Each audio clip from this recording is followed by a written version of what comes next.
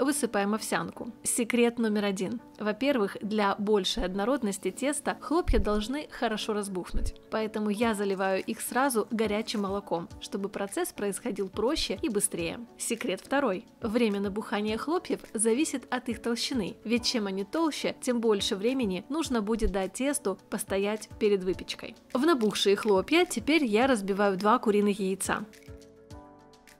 Добавляю соль, хорошо все размешиваю до получения однородной овсяно-яичной смеси. В этом мне хорошо помогает силиконовая лопатка. На самом деле овсянка в выпечке используется не слишком часто.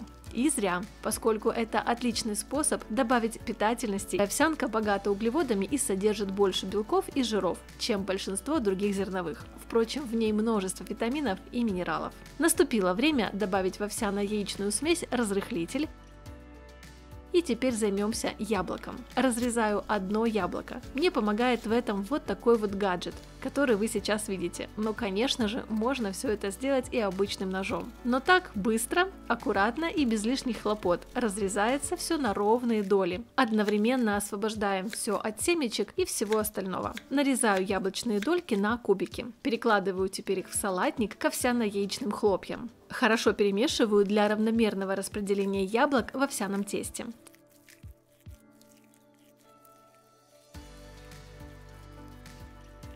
Тесто для десерта готово. Можно перекладывать тесто в форму для выпекания. Я использую прямоугольную стеклянную форму. С помощью кисточки тщательно смазываю ее рафинированным растительным маслом. Для выпечки я использую рафинированное оливковое масло.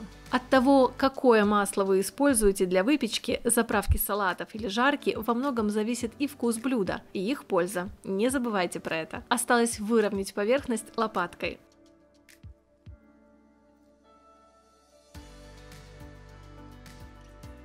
Выкладываю на нее ягоды черники. Отправляем теперь все в духовку выпекаться на 40 минут при температуре 180 градусов. Вот и все.